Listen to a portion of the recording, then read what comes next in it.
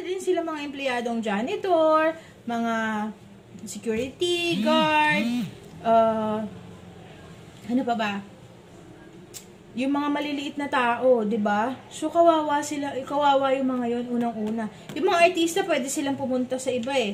Paano yung mga reporters, paano yung mga cameraman, yung mga nasa likod ng camera, mga assistant, yung mga yung mga nagdadala ng mga placards diyan, 'di ba?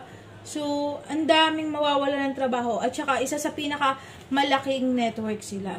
Kaso lang, pag hindi sila pinad, pinasara, gagayahin sila ng ibang network eh.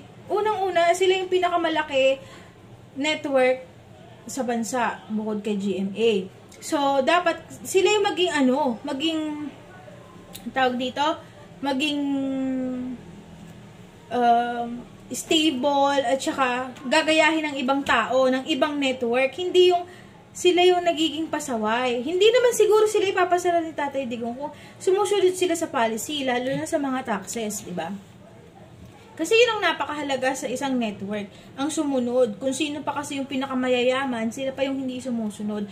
Akala nila hindi matutuloy yung mga ganyan-ganyan na na papasara, na tinatakot lang sila, na ganyan. Pero, sana, tumupad sila. Dahil, dapat nga, dapat talaga silang tumupad dahil, lalong babastusin yung Pangulo natin eh. Na siya ang nagpatupad tapos, ang daming kumukontra. Katulad ng mga senador, di ba, kumukontra pa rin sila. Pero, syempre, may mga, may mga idea sila kung bakit hindi ipa, hindi po pwedeng ipasara. Pero, dapat ang ang sinasapul natin dito ang pino-point out natin, ang dinidiin natin si ABS-CBN na tumupad o lahat ng gusto ng Pangulo, sundin nila. Tsaka yung mga balita nila, maraming sablay, maraming hindi totoo, maraming hindi hindi patas na pamamalita, 'di ba? Maraming nagrereklamo sa kanila recently. Okay yung mga ano nila, yung mga palabas nila, mga teledrama nila, okay yung mga 'yon. Talagang patok na patok sa tao kasi minsan yung kabilang network, OA, mga ganon, di ba? Pero sana, uh, magkaroon tayo ng patas sa pamamahayag at saka patas sa pagbayad sa mga taxes. So kayo guys, anong masasabi nyo kay ABS-CBN sa kanilang pagsasara? So, nakita ko pa siya sa Facebook kanina, may live pa sila siguro, wala pa namang update si Tatay Digong dito. Pero ito, may mga update. petroleum products. Ayan, Kaya naman po may mga naka-live pa sila eh. May mga live pa sila.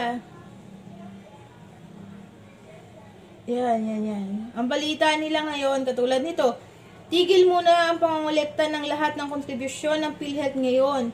May COVID-19 pandemic. Kasunod ito ng reklamo ng OFWs Talaga? Kasunod ito ng reklamo ng OFW sa balitang tataas ang kontribusyon mula sa kanila ngayong taon. Tama naman, no? ito naman tal talagang kami pa sinisi mo, ABS-CBN, ha?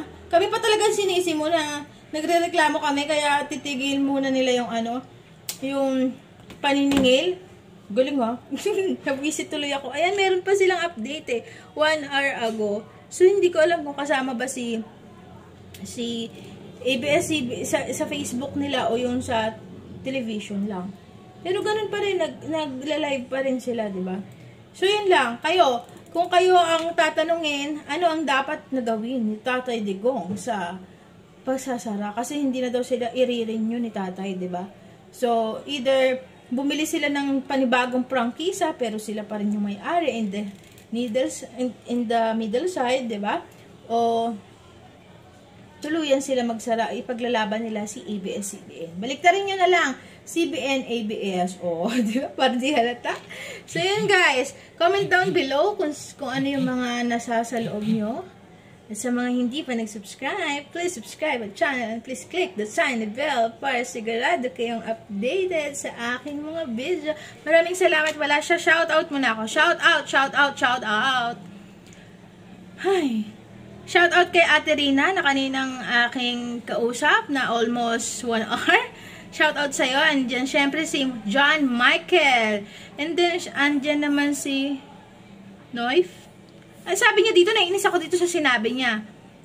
Ang, ang ano kasi dito, ang issue dun sa pinagkomentan niya sa akin, yung kay Mel Arevalo, pilit na pinababa ang Pangulo sa pwesto.